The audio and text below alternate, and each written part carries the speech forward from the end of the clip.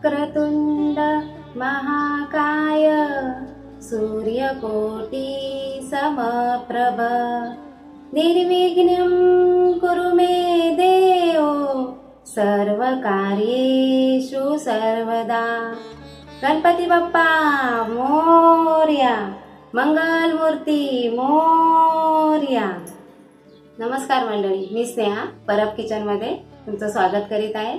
मी आज तुम्हाला दाखवणार आहे बाप्पाचा आवडते नैवेद्य मोदक.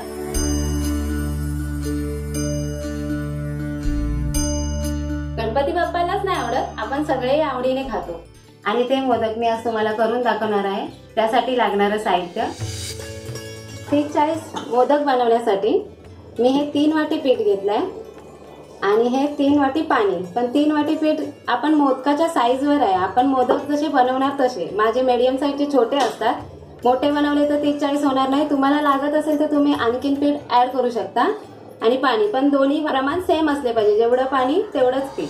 जे पीठ वापरणार आहात ते फार आधी म्हणजे महिन्याआधी ते असं वापरू नका. ताजं दोन आठवडे दोन दिवस आधीचं असेल तरी चालेल. त्याने जेणेकरून तुमची मोदकाची उकळ आणि मोदक छान फ्रेश टवटवीत आणि मऊ लुसलुशीत होतात.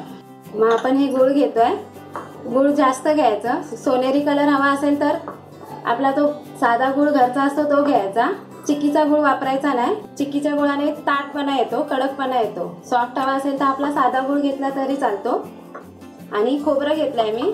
कमीत कमी मी एक नारळ किसलाय. सुका असेल तर भरपूर खोबरं पडतं. ओला असेल तर चिमचिमीत होतात ते.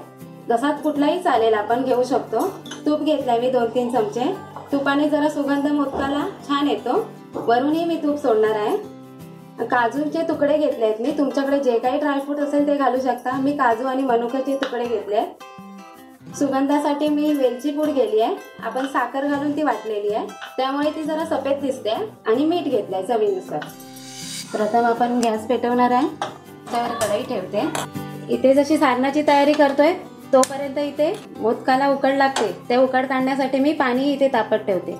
तीन वाट्या पाणी घालते याच्यामध्ये प्रथम. तोपर्यंत आपली कढई तापेल. तीन वाटी पीठ घेतलं तर तीन वाट्या पाणी घ्यायचं. पाणी बॉईल करायच्या वेळेलाच आपण पाव चमचा मीठ टाकतोय चवीनुसार. एक चमचा तुपही टाकते पाण्याला चांगली उकळ काढू द्यायचे. इथे उकळ येते तोपर्यंत आपण ही सारणाची तयारी करूया. कढई आपली चांगली तापली आहे. एक दीड चमचा तूप घालते मी. छान सुगंध येतो तुपाने.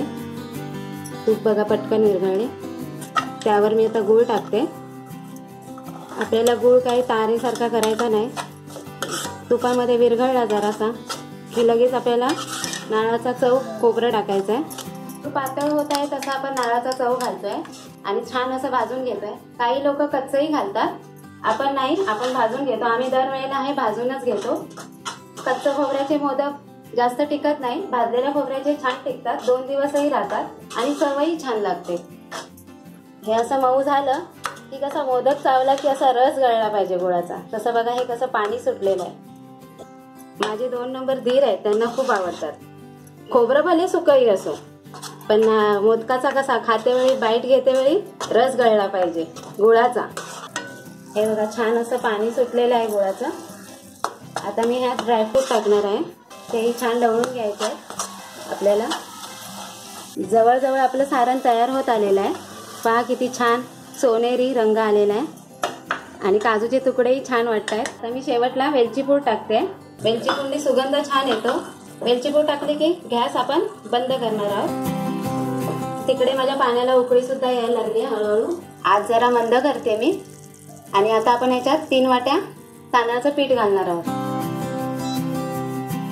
जरासं ढवळून घ्यायचं. आणि गॅस बंद करून टाकायचा. गॅस बंद करते मी. उकडीचे मोदक म्हटलं की उकडी आलीच. आणि उकडीची मोदकाची उकड चांगली आली नाही तर मोदक छान होणार नाही. म्हणून गरम पाणी जास्त करा. त्यात तूप मीठ टाका. आणि ही चांगलीपैकी उकड काढून घ्या अशी. आपल्याला ही उकड गरम गरमच काढून घ्यायची आहे. आता मी आपल्या मोठ्या ताटात काढून घेत आहे. आणि हे गरम असतेवेळीच मळायचं आहे. त्यामुळे मोदकाला आकारही छान येतो आणि छानही दिसतात मोदक. एकदमही गरम घेऊ नका हात भाजे दोन हाताने सगळ्या गुटळ्या मोडायच्या आहेत आपल्याला. अशा रीतीने मोडायच्या आहेत गुटळ्या गुटळ्या मोडून झाल्या की पिठाचा गोळा करायचा आहे. तसे इतक्या हाताने मळा. जास्तही गरम मळू नका. जेवढं गरम मळाल तेवढा पिठाचा पटकन गोळा होईल. जवळजवळ त्याचा गोळा झाला की आपण जरासं तुपाचा हात लावायचा आहे त्याला. आपण जेव्हा पाणी गरम केलं तेव्हाही तूप टाकलेलं आहे एक चमचा. तूप लावायचं कारण हाताला पीठ चिटकत नाही उकट आणि भांड्यालाही चिटकत नाही. पहा माझ्या परातीला जराही पीठ चिटकलेलं नाही. असा आपण पाच मिनटं असा बाजूला ठेवायचा आहे. मस्त मळून झालेला आहे. तोपर्यंत आपण मोदक वळवायची तयारी करूया. चला लगेच. आता मी याचे छोटे छोटे गोळे घेते लिंबा एवढे गोळे घेते मी. असा पेढा हातावर मळायचा असा असा गोल गोल फिरून बोटाने जरासं तूप आणि अशी आपण पारी वळवायची आहे. छान अशी पंतीच्या आकारासारखी खोलगट. उकड चांगली झाल्यामुळे आपली पारी पण छान फिरते हातावर. ही बघा अशी पंतीसारखी झाली पाहिजे. आणि ह्याच्यात आता आपण हे सारण भरणार आहोत. सारण भरून झालं की याला अशा पत्तीसारखी चारी बाजूने पाकळ्या काढायच्या आणि त्या पाकळ्या अशा बंद करायच्या. असं करायचं. गोल गोल गोल गोल हातावर पटकन असे हे मिटून घ्यायचे. ज्या आपण पाकळ्या काढल्या त्या मिटून घ्यायच्या. असा हा छानसा मी आणि दोन तीन दाखवते तुम्हाला.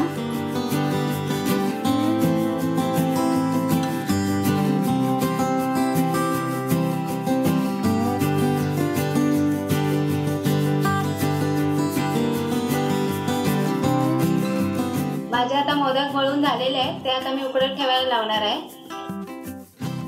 भांड्यामध्ये पाणी घेतलंय ते गरम करायला ठेवलंय. जेणेकरून आपले मोदक पटकन उकडून होतील.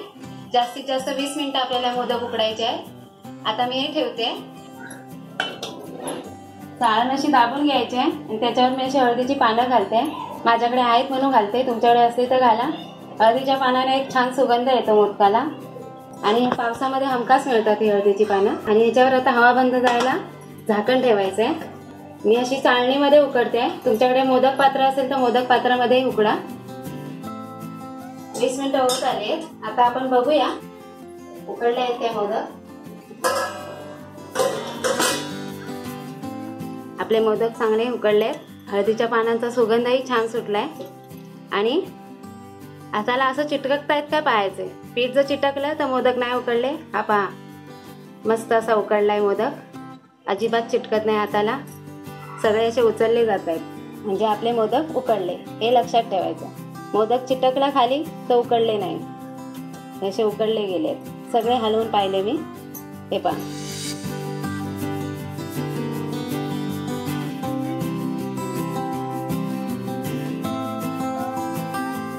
असे हे माझे छान पांढरे शुभ्र मऊ आणि लुसलुशीत मोदक तयार झालेले आहेत. ते आता गरम गरम वाफा येत आहेत. तसेच मी बाप्पाला दाखवत नाही आपण.